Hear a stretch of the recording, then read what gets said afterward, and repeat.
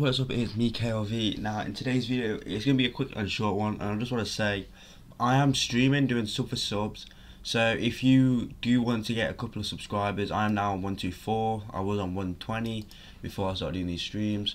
Make sure you do come over to these streams, uh, make sure you do subscribe with the notifications on, so you're notified, or you can follow me on Twitter, where I do post a stream, and tell them what I'm doing. So it says here I'm live streaming sub for sub, come and grow your channel.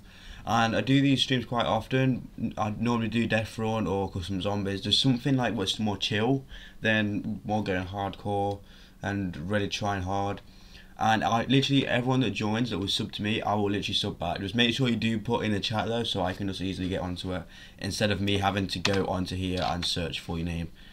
So basically, yeah. So make sure you do come out to my streams, guys. I'm literally probably streaming straight after this video is done.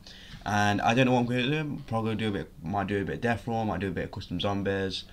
And uh, yeah, make sure you do come out. Make sure you do follow me as well if you do want to be notified that I am streaming at that time. So yeah, peace out, guys.